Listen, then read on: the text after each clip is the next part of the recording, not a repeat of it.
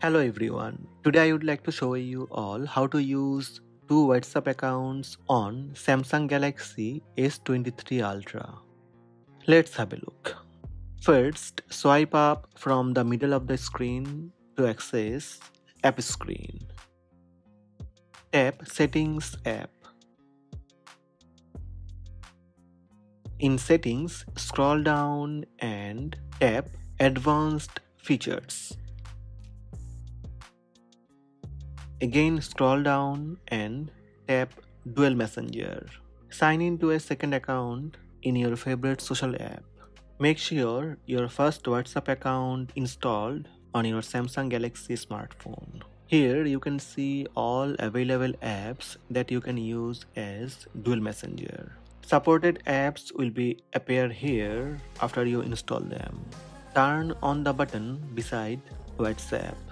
Are you sure you want to install a second copy of WhatsApp? You will be able to sign in to another WhatsApp account in the second copy of the app. Tap Install.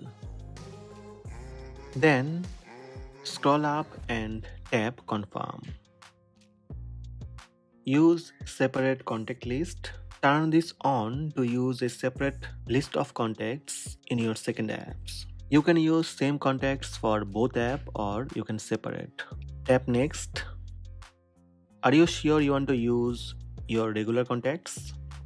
Tap yes.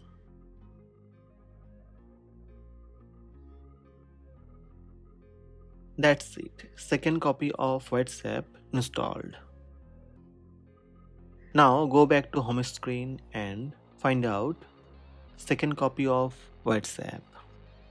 In second copy of WhatsApp app, you will see a little orange page on WhatsApp icon.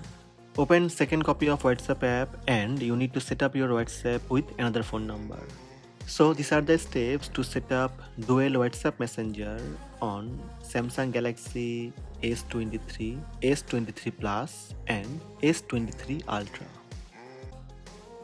Hope this video help you. Please subscribe my channel by tap subscribe button also tap the bell icon to receive notifications about all new videos.